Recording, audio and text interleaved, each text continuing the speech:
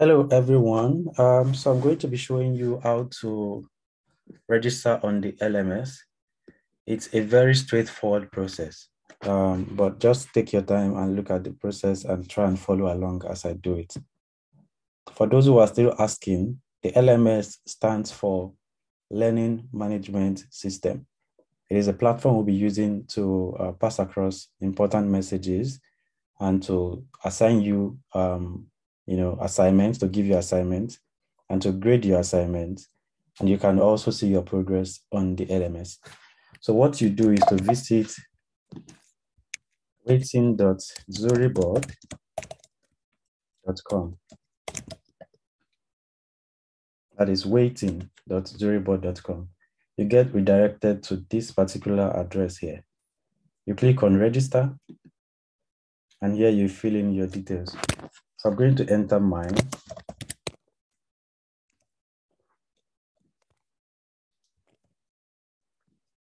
I'm going to use my name as username. You can use anything as username, but make sure you use, I mean, for you, try to use what you have on Slack as a username. So it's easy to um, identify you on the LMS also. Uh, so I'm going to do that also, take my own advice. Uh, male. I'm going to say 56, which is not true, but you know, why not? Uh, here you can select which part you want to follow, either the part-time or the full-time. Note that what you select here is not permanent yet. Once you select and you enter the LMS, we might still ask you to leave whatever part you choose, especially if you choose the full-time and we see that you are not able to follow up with the full-time. Um, if you also decide to change, you have one week, which is this new week that we are in right now. You can change your track within that week. But apart from that, you will not be able to change anymore. So I'm going to select um, full-time for now. Select my level as beginner. Employment is unemployed, obviously. Um, education is master's. Then here you enter your email address, which is the email address you have registered on Slack and the email address you've been using for the program so far make sure your username, your email address is consistent. So I'm going to enter my email address. Right now, I'm going to just use the uh, email address I created. And enter your password. Please make sure your password is something you can remember. And here you just select how you heard about the program so that we can just know our best source for fetching students. I'm going to select Zuri Twitter and click on register. Now, after that, you will be required to complete this page of your profile, which is providing an alternative email address.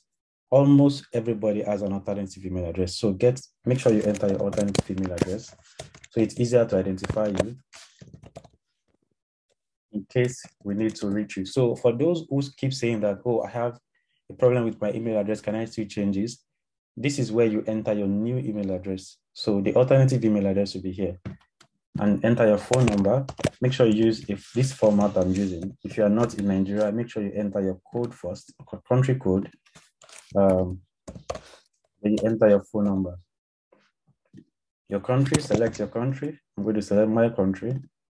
The nationality, select it. Um, I'm Nigerian my address, I'm going to enter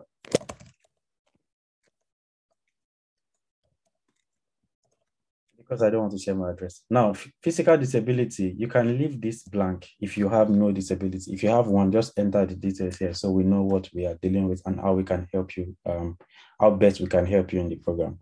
So now I'm going to click on save. And after that, it brings me to the next page. Now, um, you can skip this next page, it's fine, but you can also fill it. Now I'm going to skip it so I don't take too much time. I'm going to also skip this and skip this also.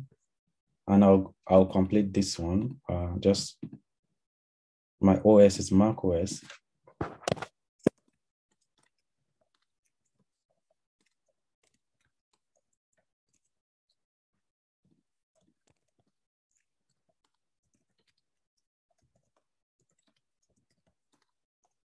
Okay, and after filling that, I'll click on save. and I will be you'll be redirected to your dashboard. Now, when you get to your dashboard, it's very straightforward. You have um, your current stage, which is stage zero for now. Your final, the total stage in the program is stage um, is 10 stages. Your current point, as you can see, you already have one task pending. I'll be showing you, um, and your track and course. Now you should see that you have two tracks and one course for now. Your tracks are um, the general track and um, there is a general track and there is a specific track you have chosen, which is either full-time or part-time. And if you come down here, you will already see some posts uh, where you can open them and get more information about them. You can also react to them or drop a comment here. Um, you can read about the workspace rules and some frequently asked questions in this address here. And then you can see you already you should already have one task on your dashboard if you do if you did the registration properly. So click on open or view and you will see the task here. Now for this task, you are supposed to um, enter your name. In my own case, I'm going to enter my name.